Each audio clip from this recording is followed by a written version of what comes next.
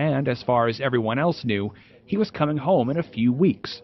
After some careful planning and with a pre-taped holiday greeting from Afghanistan sent to the church, he decided to make his return just in time for the holidays. A lot of anticipation, uh, you know, even more so than our wedding day. Uh, you know, the butterflies were there, and, and just knowing how happy this was going to make them, and trying to keep this surprise bottled up for, for a couple of months. He arrived home the night before so he could beat the weather and ensure his plan's success. Once I saw that video, I heard like footsteps of my dad coming, and right when I turned around, I saw him, and I yelled, "Dad!"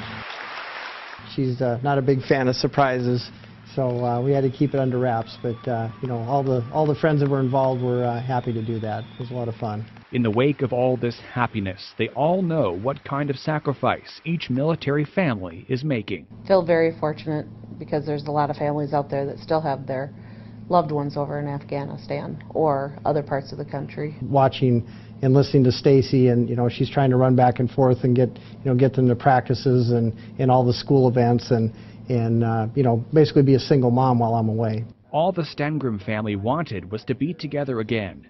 And now they all get exactly what they wanted for Christmas. I just want to be with him, do some fun things, father and son stuff, and be with him, care about him, and he's my best best dad that I ever had. And